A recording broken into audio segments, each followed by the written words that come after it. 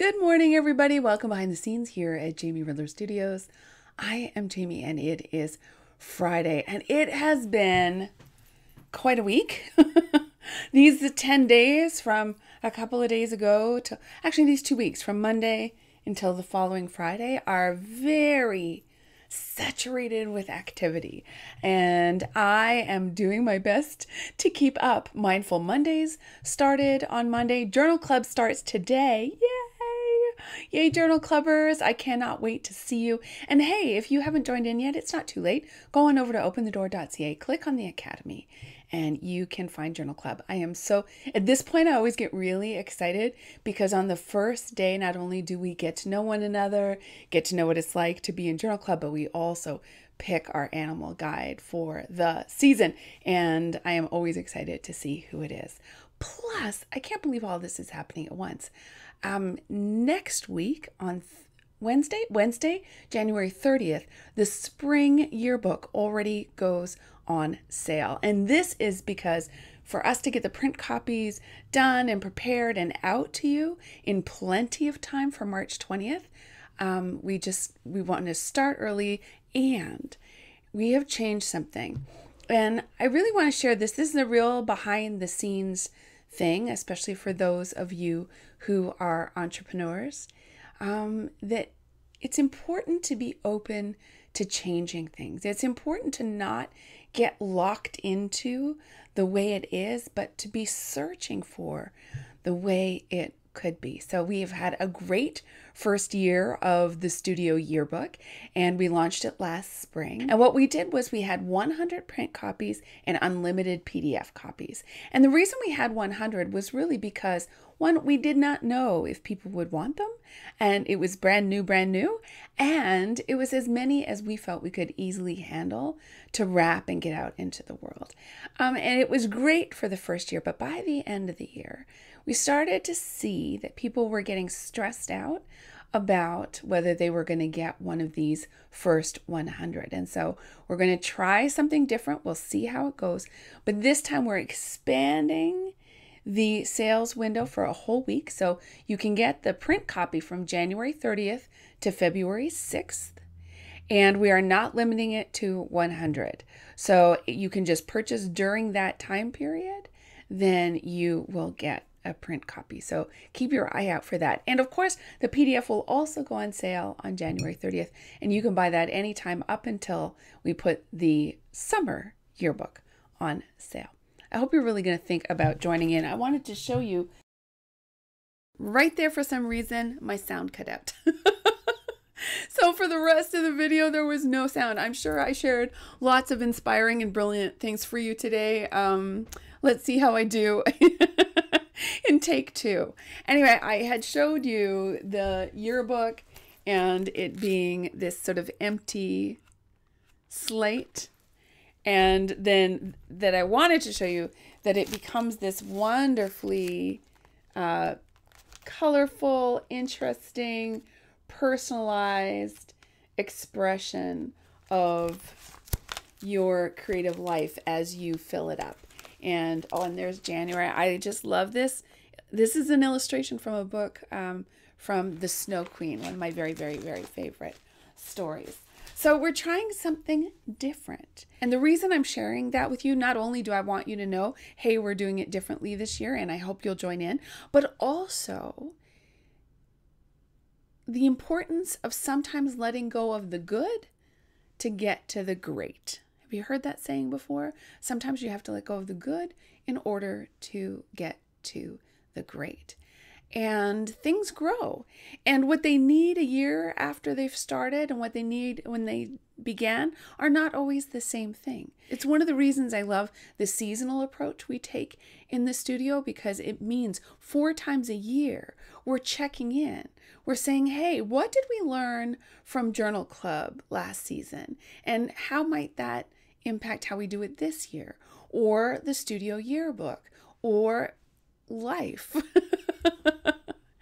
you know, how did last season go? What does that mean about how I want to move forward? And so that also culminates in a year, a year of the studio yearbook.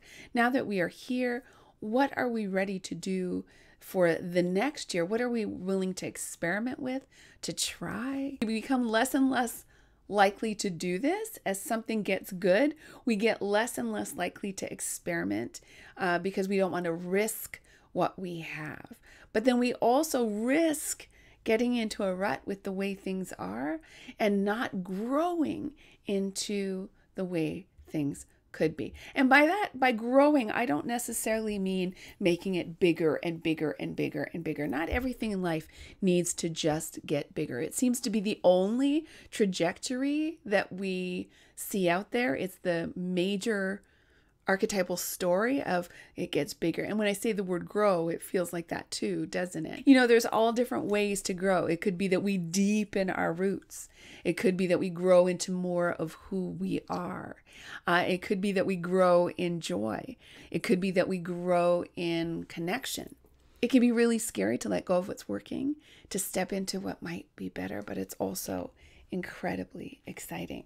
So we're doing that with the studio yearbook this year. Also, we got some good news here at our place. We found out this week that the committee has approved our plans for our renovation. Yay! And so we are going ahead as planned and we had to think this moment of yay and then this moment of now it's really real. Now it's happening. Now we have to get moving. There are things we have to do. We can continue packing and planning and getting ready for a whole new way of living. And so this summer is going to be quite different. And I imagine it's going to impact the BTS in some way. I don't know how exactly yet, but we will be moving uh, into my sister Shannon's place. Thank you, Shannon. And that's going to change everything. We're going to be bringing with us, hopefully, as little as possible. Maybe we'll be minimalists this summer. And um, I don't know what that's going to mean in terms of how I do things. I'm playing with the idea of maybe just for the summer trying out more traditional vlogging and doing some capturing of what the experience is like to live through the reno. So we'll see how that goes. We'll see what I decide to try. I have this wonderful, oops, on the other side, I've got this wonderful, um, I don't even remember what it's called, stabilizer, a stabilizer for my birthday. I haven't even opened the box. Things have been busy, and uh, but I really want to try that, and I really want to take you with me through different experiences in two different places, and I think that's going to be fun. And maybe this summer will be the motivation to do that. Sometimes something happens, and it gives you that little spark that allows you to make a change, uh, forces you sometimes to make a change. Another thing that may be doing that a bit is I unfortunately found out that I do have tennis elbow. It hurts quite a bit. And I have been trying to find my way to continue to to move forward with my work, but in a way that stresses my body a little bit less. And so I'm looking at how to make changes there too. And so, in that instance, one of the things we normally do is you immediately think scale back. And scaling back is important, especially when you're in the midst of a challenge like pain in the elbow. And that's why I wasn't here on Tuesday. Sorry, guys. Um, but I just needed some time really not using the mouse, which seems to be the main problem. Uh, but also, really now starting to think, you know, my body gets tired fairly often from all the work I do at the computer. And how can I continue to serve the work in the world, continue to beam out this idea that our lives are our studio and that we have this amazing creative capacity that we can bring to all of our lives. We can bring it to our art, our dance, our song, but we can also bring it to designing our life uh, choosing our clothes, showing up at work, to our relationships. That creative capacity is available to us in every aspect of what we do. And sometimes we don't acknowledge it. We don't acknowledge that we we were creative when we came up with, hmm, how can I make dinner out of what's in the pantry? you know, or hmm, these are the only clothes that are clean. How can I make an outfit? We come up with, we make creative choices every single day. And so it's valuable stop and think and acknowledge yourself for all the things that you have created and also to expand your capacity more and more and more. So you bring more of yourself and more of what you're here for into the world. So that's that's the message I'm trying to share. That's my path.